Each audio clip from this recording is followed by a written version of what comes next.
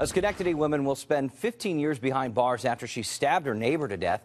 Tina Karuzas appeared in Schenectady County Court this morning to be sentenced for the second time in the 2012 death of her neighbor, Latoya Ebron. Police say Karuzas stabbed Ebron during an argument after Ebron asked her to turn down her music.